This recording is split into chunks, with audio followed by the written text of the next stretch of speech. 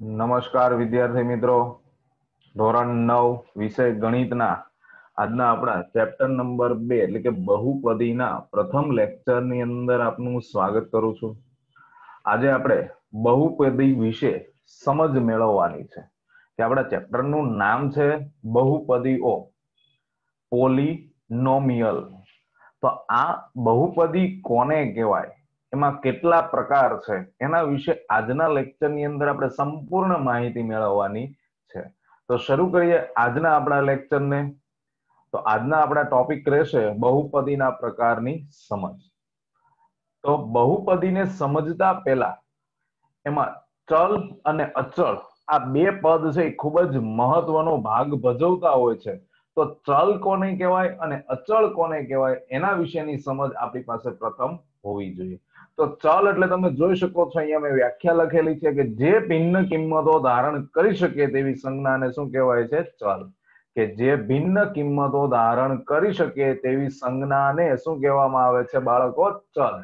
તો ચલ તરીકે આપણે કોને દર્શાવીશું તો કે એક્સ વાય ઝેડ એટલે કોઈ પણ આલ્ફાબેટ લઈ શકાય છે એવું જરૂરી નથી કે અહીંયા એક્સ વાય ઝેડ લખેલું છે.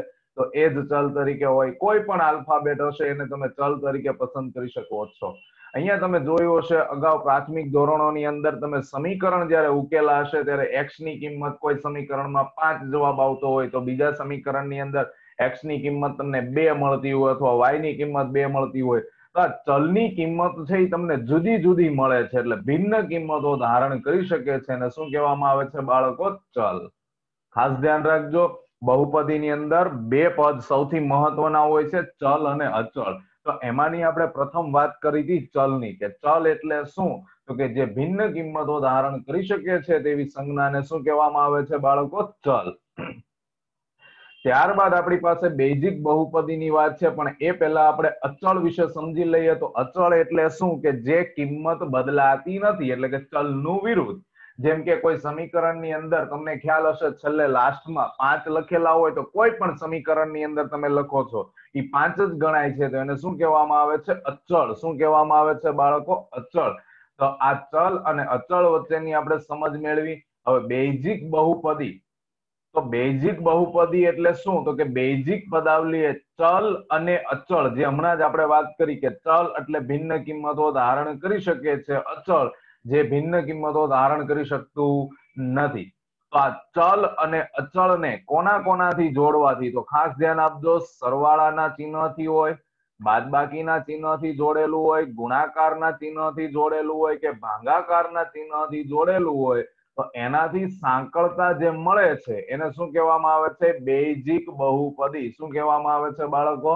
બેઝિક બહુપદી એટલે તમે કોઈ પણ સમીકરણ લખો છો, જેમ કે ઉદાહરણ તરીકે અહીંયા તમને સમજાવવાનો પ્રયત્ન કરીએ કે દાખલા તરીકે બે એક્સ પ્લસ ત્રણ, તો અહીંયા તમે જોવો છો, બે અને એક્સ એ ગુણાકારના ચિહ્નથી, કારણ કે જ્યારે ચલ અને અચળ આ બે છે એ સહગુણક કહેવામાં આવે છે. શું કહેવામાં આવે છે? સહગુણક. એની પણ આપણે સમજ આગળ મેળવીશું. તો બે એક્સ પ્લસ ત્રણ છે એ પ્લસ ના ચિહ્નથી જોડેલું છે.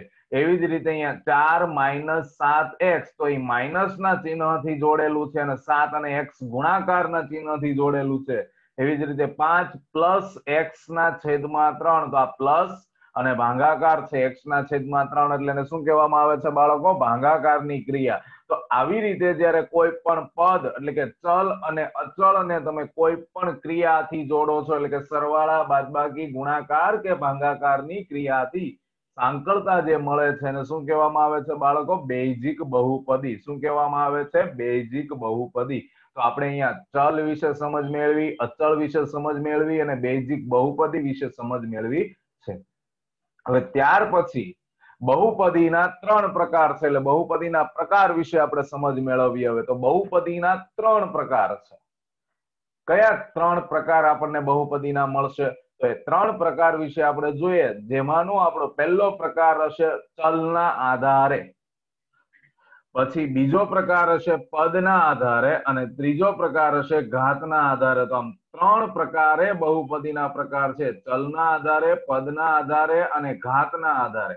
તો એમાં પહેલો પ્રકાર ચલના આધારે તો એના આપણે ઉદાહરણ જોઈએ કે દાખલા તરીકે હવે ચલના આધારે છે તો તમને યાદ રહેવું જોઈએ. ચલ તરીકે આપણે કોને પસંદ કરી શકીએ છીએ? તો કે કોઈ પણ આલ્ફાબેટ ઉદાહરણ તરીકે એક્સ, વાય અને ઝેડ. તો અહીંયા તમે જુઓ છો પાંચ એક્સ પ્લસ છ, તો એમાં એક્સ એટલે માત્ર એક જ ચલ છે. પછી પાંચ એક્સ પ્લસ ત્રણ વાય, તો જો એક્સની સાથે બીજો ચલ કોણ આવ્યો છે? વાય. એટલે આ દ્વિચલ કહેવાય. એવી જ રીતે પાંચ એક્સ નો વર્ગ પ્લસ ત્રણ, તો આમાં પણ એક જ ચલ છે. આઠ વાય પ્લસ દસ ટી પ્લસ પંદર એક્સ તો અહીંયા એક્સ વાય અને ટી એમ ત્રણ ચલ છે, તો આ ચલના આધારે આપણે પછી બહુપદીના પ્રકાર સમજવાના છે. યાદ રાખજો, બહુપદીના હવે પછી કોના આધારે શીખવાનું છે? ચલના આધારે. સેમ એવી જ રીતે પદના આધારે. તો એ પણ તમને સમજ પડી ગઈ હશે કે અહીંયા તમે જોવો છો, માત્ર એક જ પદ આપ્યું છે. પછી પાંચ એક્સ પ્લસ ત્રણ વાય. તો પદ કોનાથી જોડાય? તો યાદ રાખજો, પદ હંમેશા પ્લસ અને માઇનસ ના ચિહ્નથી જોડાતા હોય છે. પદ કોનાથી જોડાતા હોય છે બાળકો? પ્લસ અને માઇનસ ના ચિહ્નથી જોડાતા હોય છે. તો પાંચ એક્સ પ્લસ ત્રણ વાય, તો પ્લસ ના ચિહ્નથી જોડાણું. સેમ એવી જ રીતે પાંચ એક્સ નો વર્ગ પ્લસ ત્રણ એક્સ પ્લસ દસ, તો એ પણ પ્લસ ના ચિહ્નથી ત્રણ પદ જોડાણા. એવી જ રીતે આઠ વાય પ્લસ દસ ટી પ્લસ પંદર એક્સ.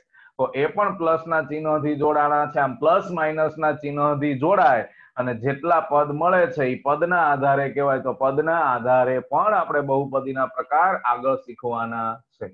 ત્યાર પછી આવે છે ઘાતના આધારે. તો ઘાત તમને સમજ હશે જ કે ચલની ઉપર જે લખાતું હોય એને ઘાત કહેવામાં આવે છે.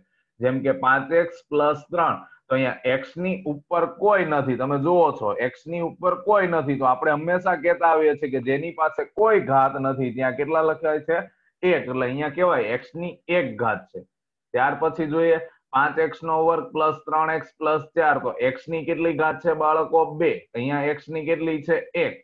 એવી જ રીતે અહીંયા પાંચ એક્સ નો ઘન પ્લસ ત્રણ એક્સ નો વર્ગ પ્લસ દસ, તો અહીંયા ઘાત કેટલી છે? ત્રણ. તો આવી રીતે આપણે ઘાતના આધારે પણ બહુપદીના પ્રકાર વિશે સમજ મેળવવાની છે.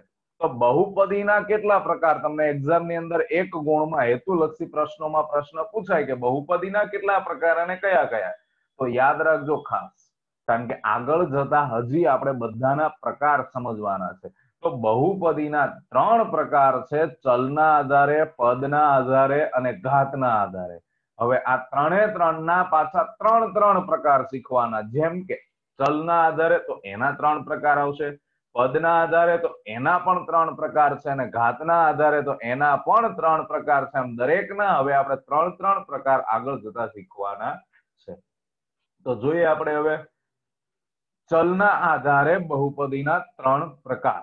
તો ચલના આધારે બહુપદીના કયા ત્રણ પ્રકાર છે એની આપણે સમજ મેળવીએ તો એમાં પહેલો પ્રકાર હશે એકચલ બહુપદી, બીજો હશે દ્વિચલ બહુપદી અને ત્રીજો હશે ત્રિચલ બહુપદી. એક ચલ એટલે જેમાં માત્ર એક જ ચલ હોય એને એક ચલ બહુપદી કહેવાય. દ્વિચલ, જેમાં માત્ર બે ચલ હોય એને દ્વિચલ બહુપદી કહેવાય. અને ત્રિચલ, જેમાં ત્રણ ચલ હોય તેને ત્રિચલ બહુપદી કહેવાય. એટલે કે જેવું નામ છે એવું જ કામ છે. તમે જોઈ શકો છો અહીંયા. જેવું નામ છે એવું જ કામ છે.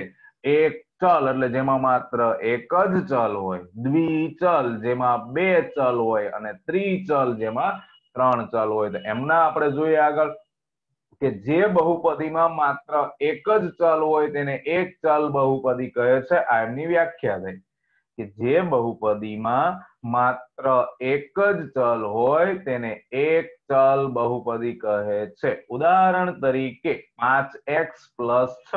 તો અહીંયા ચલ તરીકે જો તમે જુઓ છો, માત્ર એક્સ જ આપેલો છે. અને છ છે, એને શું કહેવામાં આવે છે બાળકો? અચળ પદ. શું કહેવાય છે? અચળ પદ. કે જેની કિંમત બદલાતી નથી. પછી દ્વિચલ. એની પણ વ્યાખ્યા જે બહુપદીમાં બે ચલ હોય તેને દ્વિચલ બહુપદી કહે છે.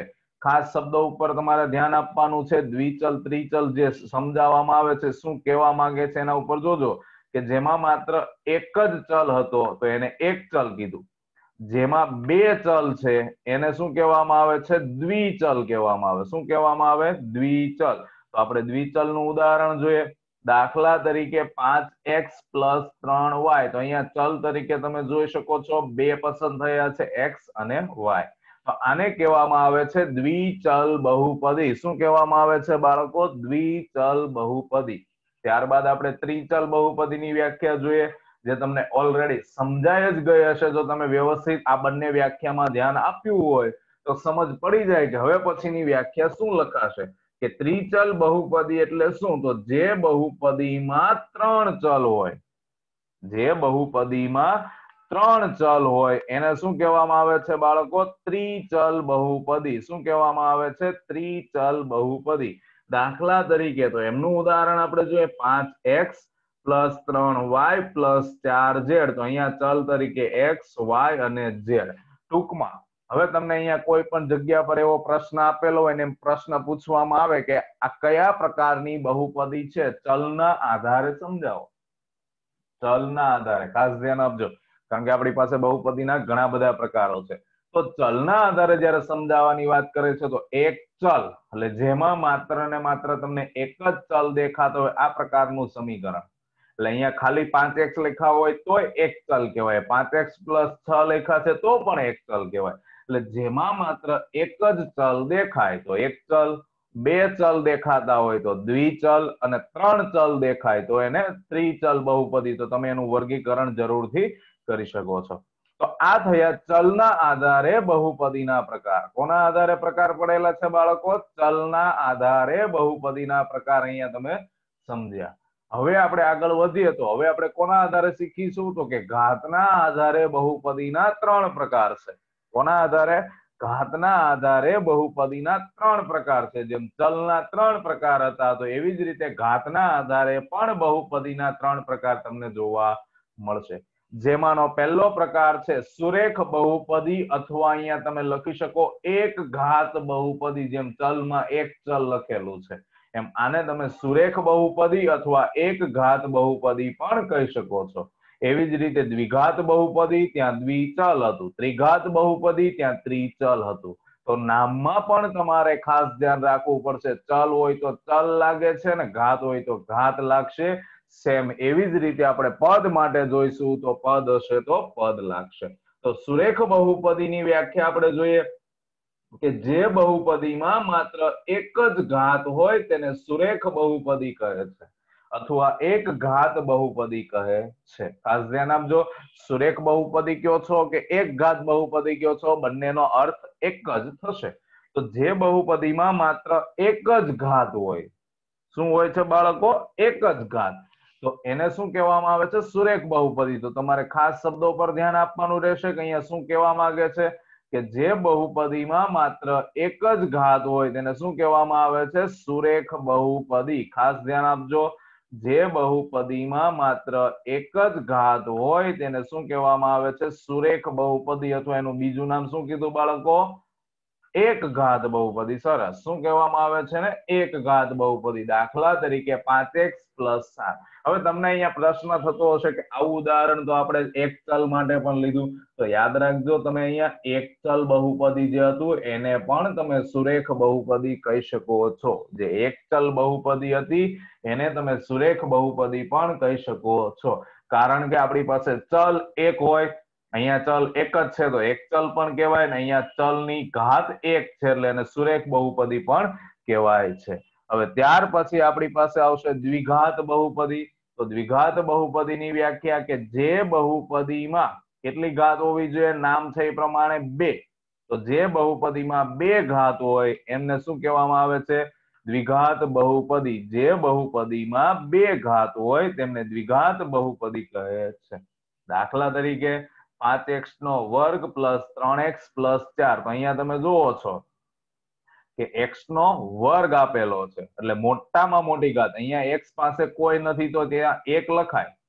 તમને હમણાં સમજાયું કે અહીંયા એક્સ પાસે કોઈ નથી તો તમે કેટલા લખી શકો છો? એક લખી શકો છો. અહીંયા એક લખી શકાય. શું લખી શકાય? એક. પણ તમારી પાસે ત્યાં એક લખો છો, પણ તમારી બહુપદીની મોટામાં મોટી ઘાત તમને કેટલી દેખાય છે? બે દેખાય છે. કેટલી દેખાય છે? બે. માટે આ બહુપદીને તમે દ્વિઘાત બહુપદીમાં સામેલ કરી શકો છો, સુરેખમાં નહીં. શું કામ? કારણ કે બહુપદીની મોટામાં મોટી ઘાત કેટલી છે? બે. સેમ એવી જ રીતે ત્રિઘાત બહુપદીમાં પણ તમને સમજ પડી ગઈ હશે કે જે બહુપદીની મોટામાં મોટી ઘાત કેટલી હોવી જોઈએ? ત્રણ. કેટલી હોવી જોઈએ? ત્રણ. તો એ બહુપદીને તમે શું કહેશો? ત્રિઘાત બહુપદી કહેવામાં આવે છે. કે જે બહુપદીની ત્રણ ઘાત હોય, મોટામાં મોટી કેટલી ઘાત હોય? ત્રણ. તેને ત્રિઘાત બહુપદી કહેવામાં આવે છે. દાખલા તરીકે અહીંયા જોઈ શકો છો, પાંચ એક્સ નો ઘન પ્લસ ત્રણ એક્સ નો વર્ગ પ્લસ ચાર. અહીંયા એક્સની મોટામાં મોટી ઘાત કેટલી દેખાય છે? ત્રણ.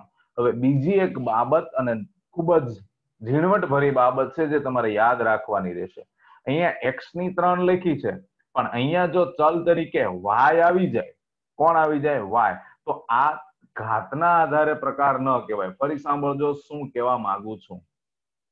કે અહીંયા તમારી પાસે એક્સની જગ્યાએ જો વાય જોવા મળે, શું જોવા મળે? વાય ખાસ અહીંયા ધ્યાન આપશો તમે કે એક્સની જગ્યાએ જો તમારી પાસે અહીંયા વાય હોય, કોણ હોય? વાય તો આ તમે ઘાતના આધારે નહીં, ચલના આધારે પ્રકાર લખી શકો, કારણ કે એક્સ અને વાય બે ચલ છે, એટલે એને દ્વિચલ કહેવામાં આવે છે. ત્રિઘાત કહેવાશે નહીં. એટલે ઘાત વાળી બહુપદીમાં એક વસ્તુની ચોકસાઈ રાખવાની કે ચલ એક જ હોવો જોઈએ? એક્સ તો આખા સમીકરણમાં ચલ તરીકે એક્સ જ પસંદ હોવો જોઈએ. વાય તો આખા સમીકરણમાં ચલ તરીકે વાય જ પસંદ થવો જોઈએ. બે ચલ હશે અથવા ત્રણ ચલ હશે તો એ પાછું દ્વિચલ અને ત્રિચલ બહુપદીમાં ગણાશે ઘાતના આધારે નહીં. આઈ હોપ કે તમને સમજાઈ ગયું હશે કે હું શું કહેવા માંગુ છું ઘાત અને ચલમાં. ચલના આધારે અને ઘાતના આધારે પ્રકારમાં ખાસ તમારે ધ્યાન આપવાનું રહેશે. કારણ શું? તો કે આગળના ધોરણોમાં અને આપણે જે નવમા ધોરણની વાત કરીએ છીએ, તો એમાં પણ તમને ચલ અને ઘાતના આધારે જ બહુપદીના પ્રકાર વિશે ભણવાનું રહેશે. પદના આધારે તમારે એટલી બધી સમજ મેળવવાની રહેશે નહીં. એટલા માટે તમને કહું છું કે ચલ અને ઘાત ઉપર ખાસ ધ્યાન આપશો. હવે આપણે જોઈએ પદના આધારે બહુપદીના ત્રણ પ્રકાર છે. પદના આધારે બહુપદીના કેટલા પ્રકાર છે? ત્રણ પ્રકાર છે. એકપદી, દ્વિપદી અને ત્રિપદી. પદના આધારે બહુપદીના કેટલા પ્રકાર છે બાળકો? ત્રણ. એકપદી, દ્વિપદી અને ત્રિપદી. તેમાં એકપદી બહુપદી કોને કહેવાય? તો જે બહુપદીમાં માત્ર એક જ પદ હોય. ચલમાં એક ચલ હતો, ઘાતમાં એક ઘાત હતી. તો પદમાં એક પદ હોય. પદમાં શું હોય છે? માત્ર એક જ પદ હોય. તેને કેવી બહુપદી કહેવામાં આવે છે? એક પદી બહુપદી કહેવામાં આવે છે. દાખલા તરીકે જોઈએ તો પાંચ માત્ર એક જ પદ મેં લખ્યું છે. એવી જ રીતે દ્વિપદી, તો જે બહુપદીમાં કેટલા પદ હોય? બે પદ. જેમ ચલમાં બે, ઘાતમાં બે, તો પદમાં પણ બે બહુપદી. એને શું કહેવામાં આવે છે? દ્વિ બહુપદી કહેવામાં આવે છે. દાખલા તરીકે પાંચ એક્સ પ્લસ ત્રણ વાય, તો અહીંયા પ્લસથી બે પદ જોડાયેલા છે. પદ હંમેશા કોનાથી જોડાય છે? તો યાદ રાખજો, પ્લસ અને માઇનસ ના ચિહ્નથી તમે પદ જોડી શકો છો. પછી ત્રિપદી બહુપદી, તો જેમાં કેટલા પદ હોવા જોઈએ? ત્રણ પદ, જેમ ચલમાં ત્રણ ચલ, ઘાતમાં ત્રણ ઘાત, એમ પદમાં ત્રણ પદ હોય તેને શું કહેવામાં આવે છે બાળકો? ત્રિપદી બહુપદી. શું કહેવામાં આવે છે? ત્રિપદી બહુપદી. દાખલા તરીકે પાંચ એક્સ પ્લસ ત્રણ વાય પ્લસ ચાર ઝેડ. તો અહીંયા તમે જોવો છો, ત્રણ પદ છે. અને આ ઉદાહરણ તમે ત્રિચલ પણ કહી શકો, કારણ કે ત્રણ જુદા જુદા ચલ પણ છે. એટલે ચલ અને પદના ફેરફારમાં તમે કોઈ પણ લખી શકો છો, પણ ઘાત અને ચલમાં ખાસ ધ્યાન રાખવાનું રહેશે. તો અહીંયા તમારી પાસે તમે ત્રિપદી વિશે પણ સમજ મેળવી લીધી છે. તો આ થયા આપણા બહુપદીના પ્રકાર. ચલના આધારે, ઘાતના આધારે અને પદના આધારે અને એના ત્રણે ત્રણ પ્રકાર વિશે પણ સમજ મેળવી. ચલના ત્રણ પ્રકાર, એક ચલ, દ્વિચલ અને ત્રિચલ. ઘાતના પણ ત્રણ પ્રકાર, સુરેખ બહુપદી, દ્વિઘાત બહુપદી અને ત્રિઘાત બહુપદી. પદના પણ ત્રણ પ્રકાર એક પદી દ્વિપદી અને ત્રિપદી. તો આ ત્રણ ત્રણ પ્રકાર વિશે આપણે દરેકની સમજ મેળવી ચુક્યા છીએ. હવે આપણે જોઈએ થોડી નજીવી એવી બાબતો છે જે ચલના આધારે બહુપદીના વ્યાપક સ્વરૂપો. તો એક ચલ, તો એક ચલ બહુપદીનું વ્યાપક સ્વરૂપ p of x is equal to A X plus B જ્યાં a is not equal to zero એટલે કે a ની કિંમત શૂન્ય થવી ન જોઈએ અને A B belongs to R વ્યાપક સ્વરૂપનો અર્થ શું થાય? તો અહીંયા તમે જુઓ છો, મેં બહુપદીનું વ્યાપક સ્વરૂપ લખ્યું છે, p of x is equal to a x plus B જ્યાં એક ચલ, એટલે તમે જુઓ છો, ચલ તરીકે એક્સ એકલો જ પસંદ થયેલો છે. તો આ પ્રકારનું જો સમીકરણ હોય, તો જ તમે એને એક ચલ કહી શકો છો. એવું સમજાવે છે વ્યાપક સ્વરૂપ. ખાસ ધ્યાન આપજો, આ ચલના આધારે જે વ્યાપક સ્વરૂપ છે એ આપણને શું સમજાવે છે કે અહીંયા એક્સ પ્લસ બી તો આ પ્રકારની જો તમને બહુપદી જોવા મળે, તો એને એક ચલ બહુપદી કહેવામાં આવે છે. દ્વિચલ બહુપદીનું ઉદાહરણ જોઈએ આપણે, એનું વ્યાપક સ્વરૂપ તો A X plus B Y plus C. A B is not equal to zero, A B C belongs to R. તો P of X is equal to A X plus B plus C. એટલે અહીંયા તમે જુઓ છો ચલ તરીકે x અને Y. બે પસંદ થયેલા છે, તો આને કહેવામાં આવે છે દ્વિચલ. એટલે આ પ્રકારનું જો સમીકરણ તમને જોવા મળે, બહુપદી જોવા મળે, તો એને તમે દ્વિચલ બહુપદી તરીકે ઓળખી શકો છો. જ્યાં એ અને બી ની કિંમત શૂન્ય થવી જોઈએ નહીં. A, B, C belongs to R. હવે ત્રીજું આપણી પાસે ચલના આધારે હતું ત્રિચલ બહુપદી. તો એનું વ્યાપક સ્વરૂપ P of X is equal to A X plus B Y plus C Z plus D તો આ ત્રિચલ બહુપદીનું વ્યાપક સ્વરૂપ જ્યાં ચલ તરીકે ત્રણ પદ છે અને ડી છે, એને શું કહેવામાં આવ્યું છે? અચળ પદ. જેમાં આમાં સી અચળ પદ છે, આમાં બી અચળ પદ છે, આમાં અહીંયા ડી અચળ પદ છે. અને A B C is not equal to zero A B C D belongs to R તો આ ત્રણ પ્રકાર આપણે જોયા છે, જે ચલના આધારે બહુપદીના પ્રકાર છે. કોના આધારે પ્રકાર છે? ચલના આધારે પ્રકાર હતા. એના આપણે વ્યાપક સ્વરૂપ જોયા છે. જો આ પ્રકારની તમને બહુપદી જોવા મળે, તો તમે એને નામ આપી શકો છો. હવે એક્ઝામની અંદર હેતુલક્ષી પ્રશ્નોમાં ઘણી વખત આપણને એમ કહેવામાં આવે દ્વિચલ બહુપદીનું પ્રમાણિત સ્વરૂપ લખો. તો યાદ રાખજો બાળકો, પ્રમાણિત સ્વરૂપ છે, એ જ તમારું વ્યાપક સ્વરૂપ છે. ખાસ સાંભળજો. પ્રમાણિત સ્વરૂપ છે એ જ તમારું વ્યાપક સ્વરૂપ છે એટલે તમારે આ જ લખવાનું થાય. ઘણા વિદ્યાર્થીઓ શું કરે? એક્ઝામની અંદર પ્રશ્ન પૂછાય, તો ખાલી આટલું લખીને જતા રહે. તમારે એની સંપૂર્ણ શરત પણ અહીંયા બતાવવી પડે. આજે અહીંયા લખેલું છે A B is not equal to zero A B C belongs to R એ પણ તમારે એમાં લખવું ફરજિયાત છે. તો આ ચલના આધારે બહુપદીના આપણે વ્યાપક સ્વરૂપ સમજ્યા. હવે આપણે જોઈએ છે ઘાતના આધારના બહુપદીના વ્યાપક સ્વરૂપો. સુરેખ એટલે અહીંયા લખી દીધું છે એક ઘાત. બંનેનો મતલબ એક જ થશે. તો એનું વ્યાપક સ્વરૂપ છે એ એક્સ પ્લસ બી. તો તમે જુઓ છો એક ચલ અને સુરેખ બંનેનું વ્યાપક સ્વરૂપ સેમ છે. સુરેખમાં એ એક્સ પ્લસ બી છે, તો એક ચલમાં પણ એ એક્સ પ્લસ બી જ હતું. અહીંયા ચલની એક ઘાત છે.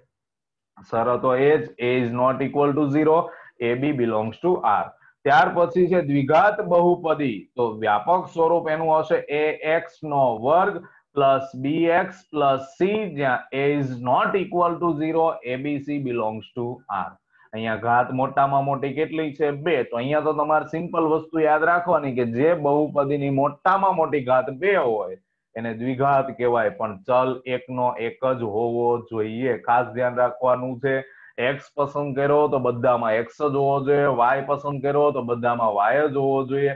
ચલ બદલાવો જોઈએ નહીં. એવી જ રીતે ત્રિઘાત બહુપદીનું વ્યાપક સ્વરૂપ છે એક્સ નો ઘન પ્લસ બી એક્સ નો વર્ગ plus C X plus D જ્યાં A is not equal to zero A B C D belongs to R હવે ચલ અને ઘાતના પ્રકારનું વ્યાપક સ્વરૂપ જે આપણે જોયું એમાં એક વસ્તુ નો ફેરફાર છે. અહીંયા A is not equal to zero જ શરત લાગે છે બધામાં.